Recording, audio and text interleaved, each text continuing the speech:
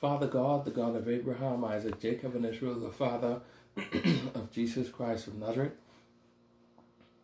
Father God, we ask you to see to it that you release your child from all evil spirits that has been causing them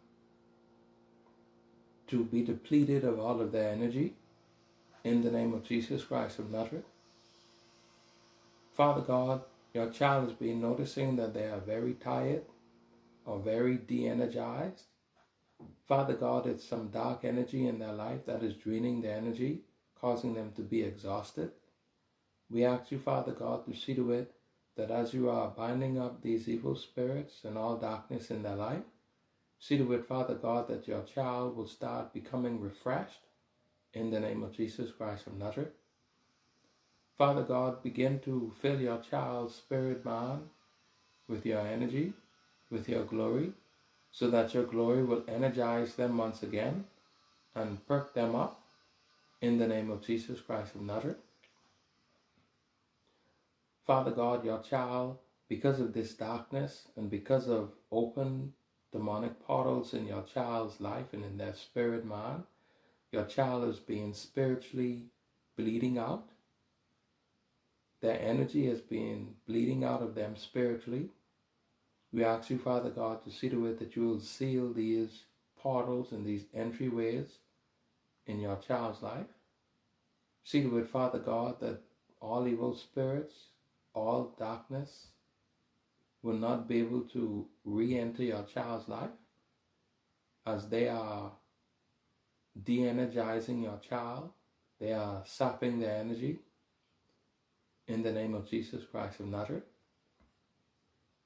Father God, your child is noticing that they have become strengthless in their emotions, mentally, spiritually, and they have not and they've been wondering why. Father God, we ask you to sever all demonic ties that has been formed between your child and these evil spirits so that they will no longer be able to weaken your child spiritually or tamper with their energy levels in the name of Jesus Christ of Nazareth. Father God, we ask you to see to it that you will release your child from the hold of these evil spirits. They have been causing your child to experience mental disconnections. See to it, Father God, that all evil spirits attached to your child's to your child mentally will also be bound up with unbreakable chains and release them out of your child's life and out of their mind in the name of Jesus Christ of Nazareth. Father God, see to it that your child will be able to reconnect to the real world. See to it that they will be able to process the real world.